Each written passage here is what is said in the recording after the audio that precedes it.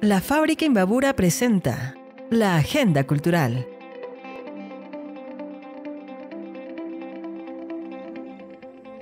Les presentamos la Agenda Cultural de marzo de Fábrica Imbabura.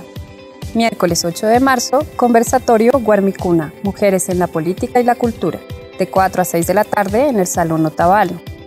Inauguración de la exposición Bajo la Lluvia, pintura y escultura de los artistas Gabino Dávila y Germán Potosí, a las 6 de la tarde en el Salón Caranqui. Jueves 9 de marzo, taller de socialización del RUAC, Registro Único de Actores para gestores y actores culturales, de 3 a 5 de la tarde en sala 1924. Martes 14 a viernes 17 de marzo, Foro Taller Patrimonio e Identidad, de 9 a 11 de la mañana y 1 a 3 de la tarde en el Salón Otavalo. Viernes 17 de marzo, presentación de la obra de teatro No hay ladrón que por bien no venga, colectivo de niños de cristal, a las 5 de la tarde en el auditorio Lía.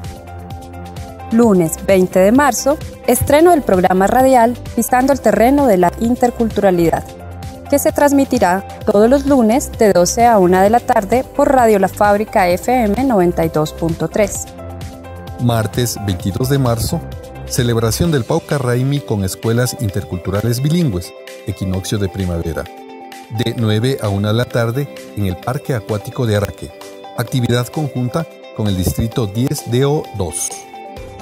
Viernes 24 y jueves 30 de marzo, reactivando la memoria social, cineforo con el documental El feriado bancario, de 3 a 5 de la tarde en el Infocentro.